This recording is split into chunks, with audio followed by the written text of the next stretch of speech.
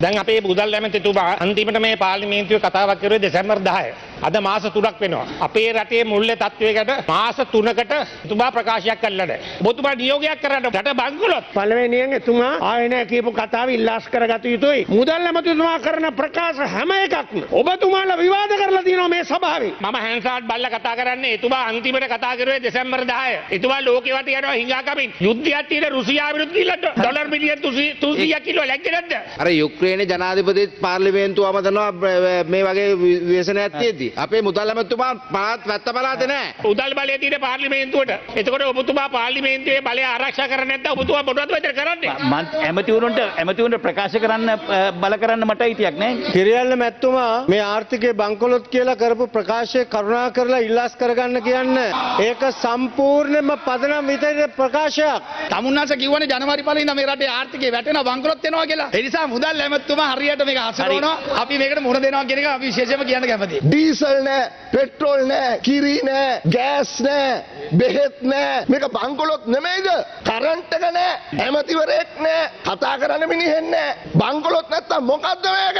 මේක නෙවෙයි නම් බංකොලොත්. මොකද්ද බංකොලොත්? අපි කොහොමද කටහරලා කියන්නේ රට බංකොලොත් කියලා? අඩුම තරමේ දැන්වත් මේ බංකොලොත් කමින් රට බේරගන්න එකතු වෙලා මොකක් හරි කරමු ගරු කතානායකතුමනි දැන්වත් තේරුම් ගන්න අපේ රටේ තියෙන ගැටලුව ඩොලර් මිලියන 200කින් 300කින් කාගෙන් හරි හිඟාකාර බේරගන්න පුළුවන් ප්‍රශ්නයක් නෙවෙයි මේ බංකොලොත් රාජ්‍යයක් බවට පත් කරේ මේ රාජපක්ෂ පවුල. මේ රුපියල බලෙන් අල්ලන් ඉන්න තීන්දුව කරපු අය මේ රට විනාශ කිරීමේ වාක්‍ය යුත්තන්. ඔවුන්ට අනිවාර්යයෙන්ම ඔවුන්ට විරුද්ධව නීතිය ක්‍රියාත්මක කරන්න ඕන. ඔවුන්ට හිරේ දාන්න ඕන. කවුරුවන ඩොලර් හංගගෙන ඒ පිට්පොකට් ගහගෙන ඉන්නව නෙමෙයිනේ. ඒට ආණ්ඩුවරන් තමුන්නාන්සලා මොනා කරන්නේ? තමුන්නාන්සලා හොඳට කළා නම් එදා නායක රනිල් වික්‍රමසිංහ මහත්තයා අද මේ විපක්ෂයේ එක පුටුවකට වෙලා මෙතන ඉන්න ඕනේ. සජිත් ප්‍රේමදාස මහත්තයාට ඔය දෙතුන් දෙනෙක් එකතු කරගෙන විපක්ෂ නායක වෙලා ඉන්න ඕනේ. විභාග තියෙන කාලේ අපිට බැරුව ගියා ලයිට් දෙන්න ළමයින්ට පාඩම් කරන්න. මොනාටද මේ ආණ්ඩු? මේ කට්ටියට මේවට ඩොලර් නැති වුණාට මේගොල්ලන්ට බිටුමන් ගේන්න තාර ගේන්න ඩොලර් තිබිලා තියෙනවා. එතකොට මේ රටේ ප්‍රමුඛතාවය තාරද? දැන් රාජපක්ෂලගේ රස බැලුව ඇති. අනිවාර්යයෙන්ම මේ ජලය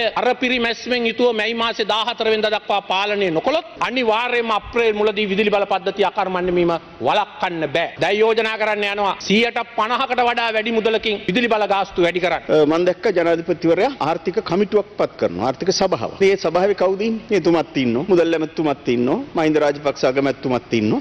ජොන්සන් ඇමතුමත් ඉන්නවා. හැබැයි මෙච්චර අර්බුදයක් තියෙද්දි ඒක ගොඩ ගන්න පත් කරන්නේ ජොන්සන් ප්‍රනාන්දු ඇමතුමා නා. ඉතින් රටේ ජනතාවට හිතාගත්ත හැකි මේ අර්බුදයට උත්තර සපයන්නේ කොහොමද කියලා. ආයි ඉතින් මේ වට්ටපු කට්ටියම තමයි. ඉතින් බැසිල් රාජපක්ෂත් ඒකේ ඉන්නවා. හැබැයි ඉතිහාසයක් තියෙනවා ලයිට් තිබුණා රටේ. බලාගාරත් වැඩ කරා. හැබැයි ගෙදර අපිට ලයිට් එක දාගන්න අවසරේ නැහැ. අපේ ගෙදරට දුණ්ඩු කෑල්ලක් දානවා වෙලා. අපේ ගාන්ත මන්ත්‍රීතුමායම දන්නවා. කුප්පි ලාම්පුවක් පත්තු කරන්න මේක කුල්ලෙන් වහලා තියන්න ඕන. මේ සභාවට ඉතාම වගකීමකින් කියනවා පුනර්ජනනීය බල ශක්තිය පාවිච්චි කරන්න. අඩුම ගානේ තව මෙගවොට් 1000ක්වත් මේ පද්ධතියට එකතු කරන්න අවශ්‍ය මූලික පියවර අපි මේ අවුරුද්දේ ගන්නවා. ඩොලර් එක පා කරා. ඕක කලින් කරන්න තිබුණානේ. දැන් නහය ළඟට වතුර ටික ආවට පස්සේ දැන් ඩොලර් එක පා කරලා දැම්මා. ආනායන භාණ්ඩ 367කට තාංචි දාලා තියෙනවා. තාංචි දාලා කියනවා ලයිසන් ගන්න කියලා. කාටද ලයිසන් ටික දෙන්නේ? හායි ලයිසන් ටික දෙයි තමුන්නාන්සලගේ ජාවාරම්කාරයන් ටිකට. දැන් අපේ අපේ ජනාධිපතිතුමා සර්වපාක්ෂික සමුළුවක් ඇඳවන්න හදන. සර්වපාක්ෂික සමුළු ඕනේ නෑ. මේ පාර්ලිමේන්තුව එකතු කරාම මේක තමයි සර්වපාක්ෂික සමුළු.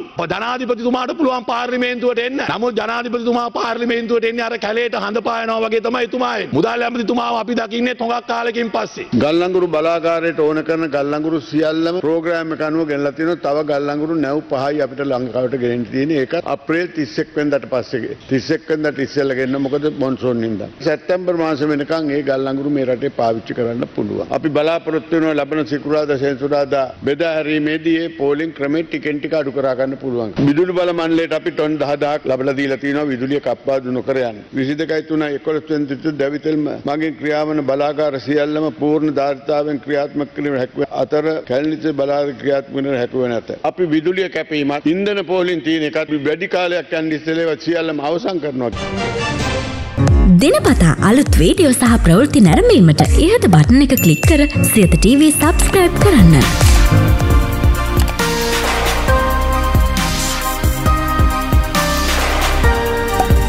අලුත් වීඩියෝ ගැන මුලින්ම දැනගන්න මෙම සීනුව ක්ලික් කරන්න.